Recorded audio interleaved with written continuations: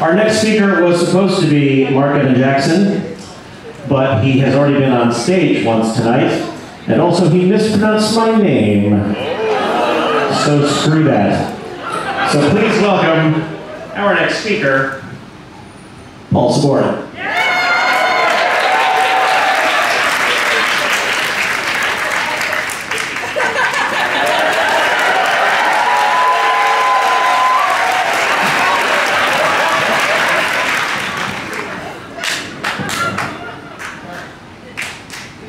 All right, get it and then fucking a bunch of red team-like people. yeah, that's right. that got your attention, huh? All right, we got some stuff to go through. This is important, so. Uh, okay. Shh. Genius. Vision the ability to perfectly encapsulate complex thoughts and emotions and express them concisely through art without the use of language. So many of us strive for it, few achieve it. Those who do are born with the ability, and the rest of us can merely watch from a distance and admire. Perhaps learn something? Who can say? I want to talk to you tonight about the greatest moment in 1970s rock music history. To do that, I need to talk to you about the Eagles song Hotel California. To do that, I need to talk to you about the Eagles album Hotel California. And to do that, I need to talk to you about the Eagles.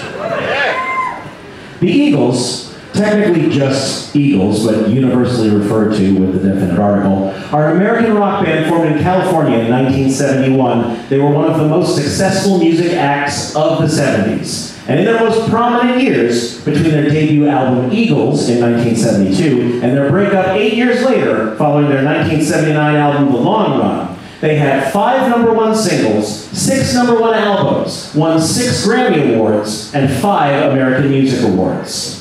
The 1976 album, of Their Greatest Hits 1971 to 1975, still holds the record for the best-selling album of all time in the United States at 38 million copies and counting. Worldwide, as of 2020, the album sold over 45 million copies, making it the world's best-selling greatest hits album and third best-selling album of all time. The band's sound, influenced by rhythm, blues, soul, bluegrass, and rock bands such as the Byrds and Buffalo Springfield, exemplifies what came to be known as California rock.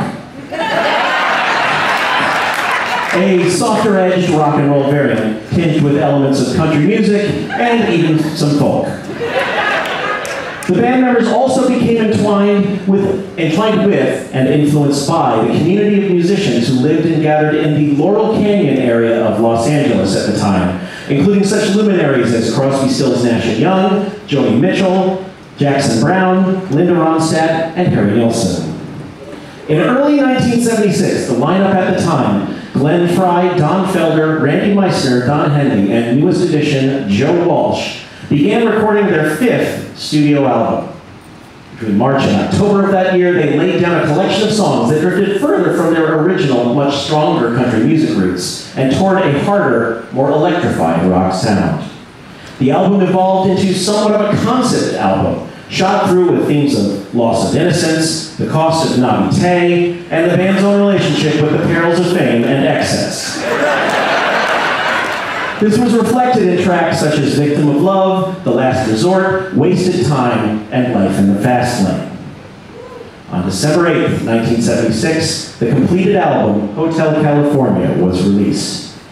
Its themes of weary sadness and weary bitterness were best encapsulated on Side 1, Track 1, the album's title song.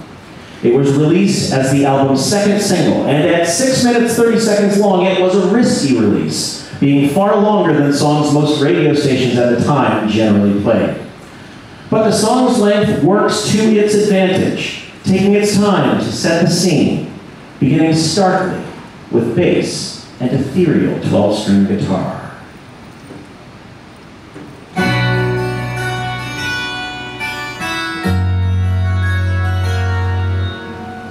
Henley's lead vocal and drums kick in to introduce a stark desert setting and a mysterious hotel, both literal and metaphorical.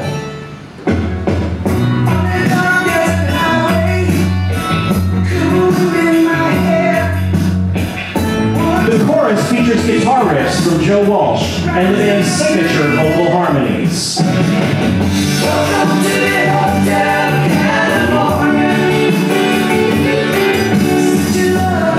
As the song winds towards a claustrophobic, foreboding climax, describing a horror film-like inability to escape the hotel, and by extension, one's own tragic circumstances, the song launches into what is inarguably its most memorable feature, dueling guitar solos by Don Felder and Joe Walsh.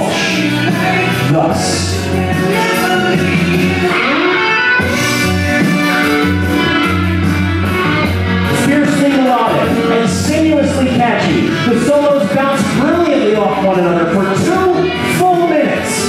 Even casual fans can accurately sing the full duration of the solos. Roughly 65 seconds in, the separate solos begin to align,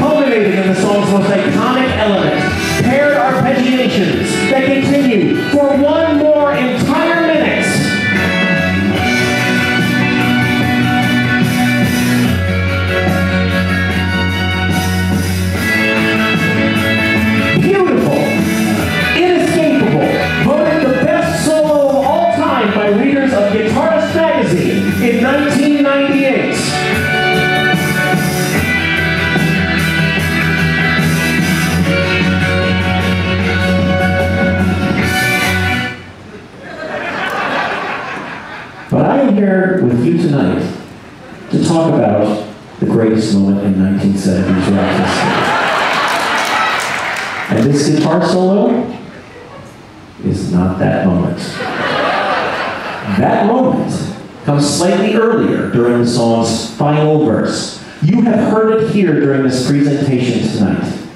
It's this drum fill played by Tom Henley at the 4 minute 20 second mark.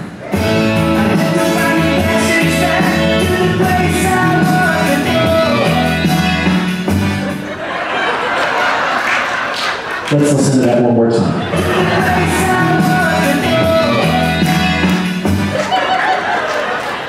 Gorgeous, masterful, essential.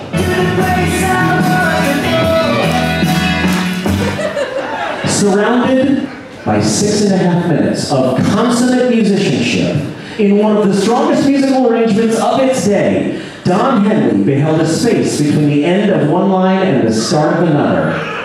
From the infinitely possible choices of patterns and textures to fill this chasm, to musically evoke the desperation and longing for passage back to the place he was before, to again smell whatever the funk colitas is. Henley made a bold, decisive, dazzling choice. One single hit. One tom tom. No floor tom. No booming bass drum to ground it. Fuck you, crash and ride cymbal. You are not needed here. Eat shit, snare drum. You would just make things worse. Just you, my friend my stalwart companion, there at my right hand, just where you should be. Speak but once, then be still.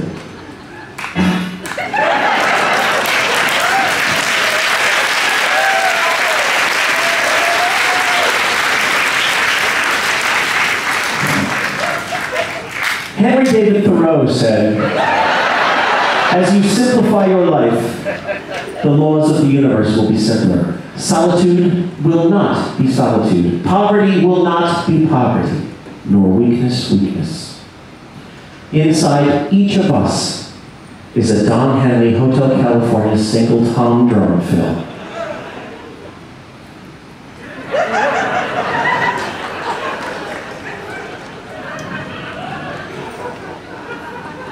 If only we have the strength.